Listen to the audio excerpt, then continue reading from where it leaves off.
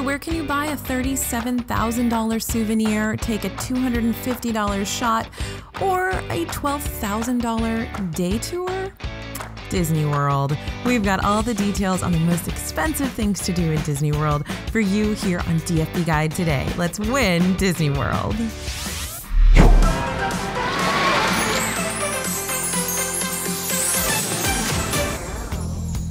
Everybody, it's AJ for Disney Food Blog. We thought we'd do a fun one for you today. We want to calculate kind of the most expensive day in Disney World, or basically the most expensive things you can do in Disney World, because I think some of them are going to shock you.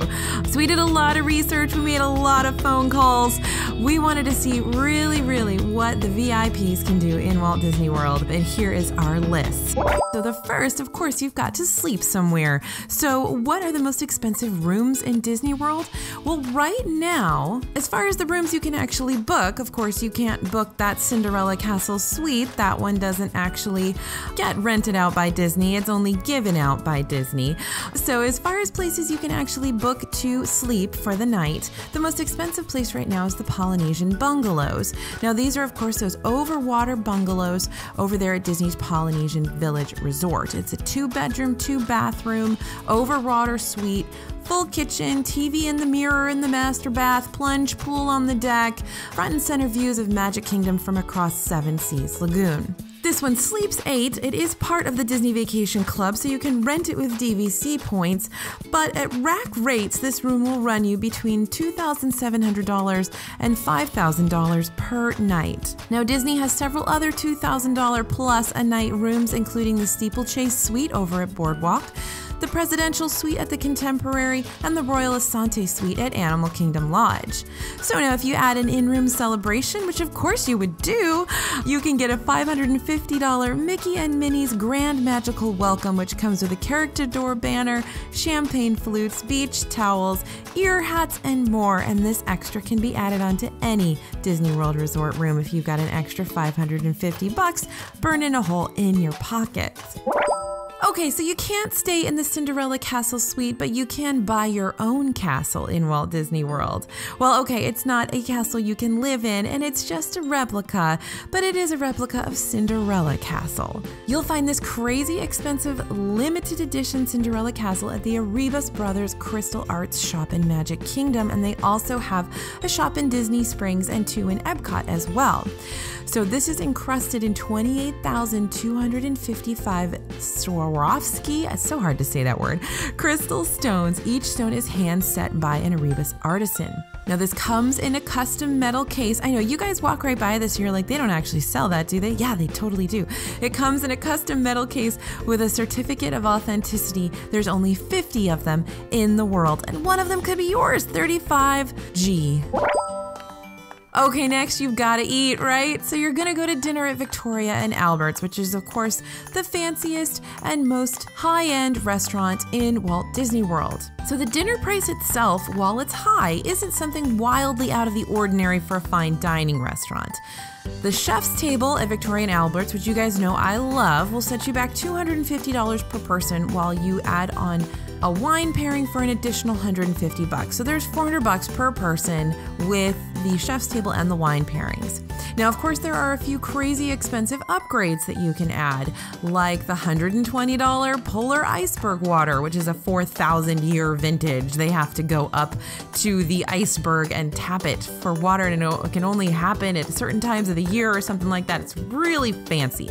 So, $120 water. And of course, not surprisingly, their wine list has a few shocking prices with several bottles over $6,000. The most expensive one that we could find was $13,000 Pomerol Chateau Le Pin 2005. It's a Bordeaux red blend, in case you don't know that already.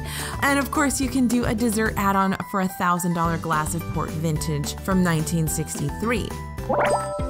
Now, if you'd rather dine offsite and spend a little bit more money, you can head over to Capa at the Four Seasons, which of course is still on Disney World property technically. A several course dinner for two would run well over a thousand dollars. So $355 caviar, $108 oysters, wagyu at 32 bucks an ounce, and a $60 lobster, and you're already topping out around $750 before drinks and dessert.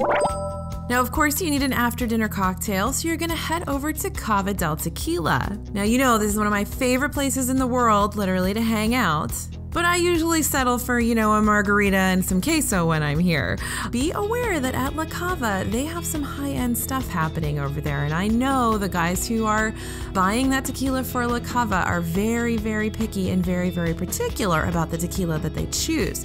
So La Cava right now has both a $207 Supreme Tequila Flight and a Cuervo 250 Anniversary, which is $250 for a single shot if they have it in stock. Now, if tequila isn't your thing, you'll find some high end rum and whiskey over in Disney Springs. Most of these items don't even make it onto the menu, they're reserved for VIPs, so you will have to ask for them. For example, Enzo's Hideaway has been known to carry exclusive rum and whiskey like Johnnie Walker Blue Label Ghost and Rare, and Morimoto Asia has sold out of their extremely rare Yamazaki Mizunara 18 year Japanese whiskey. Only 5,000 bottles were made, and each bottle prices into the $4,000 range. So none of that for you, it's sold out. Now, how are you going to pay for all this stuff? Of course, you're going to use your $300 gift card. This is a Swarovski encrusted gift card. It's the ultimate show off piece. Like I said, cost 300 bucks. Now, Swarovski artists developed a brand new way to adhere crystals to the entire face of the card, something that had never been done before because you don't want any of those 2,500 premium Swarovski crystals to fall off. This one comes in a custom collector's gift box and it's loaded with 90 bucks. So it's not just $300 for, you know, nothing. It does come with $90, and that's redeemable for practically all things at Disney. Don't worry though, it has a barcode on the back so you don't have to swipe it. Now, apparently, this is just the first in a Disney Collector gift card series, so don't be too bummed if you missed out on it. We'll be seeing more absurdly expensive gift cards very soon. Okay, now this one is my favorite. If you want to take a yacht out around Seven Seas Lagoon, you can do that. So the Grand One yacht is docked at the Grand Floridian Resort, and you can take up to 18 of your best friends. FYI, you can only take 17 of your friends if you choose to bring along the butler, which, yes, this yacht has a butler, for a waterside tour of the resorts around Magic Kingdom or for views of the Magic Kingdom fireworks. Now, of course, you can add on private dining to any of these cruise experiences, but that is going to be in addition to the $400 per hour that you're going to pay for the yacht in the first place. Okay, now if paying for all this stuff piecemeal just doesn't work for you, think about the VIP tour of VIP tours. This is the World of Dreams tour. It just debuted. It's a $12,000 tour for up to six guests for up to 12 hours. This one is completely customizable. You can basically do whatever you want. You can include photo sessions, a visit to the Cinderella suite. Can't stay there, you can visit it special viewing locations for nighttime shows and fireworks, dining and attractions. Meals and snacks are included with meal options, including some of the most popular restaurants, quote unquote. But note that your park tickets are not included. So if you're going to go into a park, you do have to pay separately to the $12,000 for your park tickets. Now, there is private transportation between the parks, and you can add on extra days of this Ultra VIP tour for just 10 grand per day. So 12,000 for the first day, 10 grand for each additional day. But don't forget, you still got to buy your park tickets for all those additional days as well. And of course, your regular old VIP tour, if the $12,000 tour isn't for you, will run 425 to $625 per hour with a minimum seven hours. So the least you'll spend on that is going to be around three grand, but it won't get you into Cinderella Castle Suite. All right, now the ultimate way to spend a ton of money at Walt Disney World is, of course, getting married there. I know some of you did it, some of you spent that money to have your dream wedding in Walt Disney World, but you really can spend an arm and a leg on getting married there. Custom engagement packages start at $7,500, and that's before the ring. Pricing varies on different elements, whether you want a low key romantic evening or a show stopping day. So the lowest priced Disney World wedding starts at $3,500. $500 for about four people, in addition to the couple, for a small one hour ceremony. Prices shoot way up for larger groups and exclusive settings. So, a ceremony and reception in Magic Kingdom's East Plaza Garden will run you somewhere upwards of 75 grand once all your food costs have been factored in. That's not including any of those extras like arriving in Cinderella's carriage, that's $3,000, having Mickey and Minnie show up, 1,650, or three of your favorite princesses access is $2,150 for just 30 minutes. You can have your ceremony in the Magic Kingdom after hours starting at $50,000. Yeah, that's just the ceremony. No reception, no food, no nothing. And Huffington Post has reported that you can rent out all of Magic Kingdom for your reception starting at $180,000. I have no idea if that's true or not. That is what Huffington Post says. So, yeah, you can drop some serious cash on a wedding in Walt Disney World. So, be prepared for that, dads of daughters.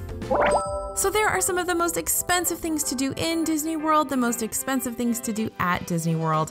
We think this is so much fun. We'd love to do any one of these things. Let us know in the comments what your dream day at Walt Disney World would look like. We'd love to hear it. As always, this is AJ for Disney Food Blog, and we'll see you real soon.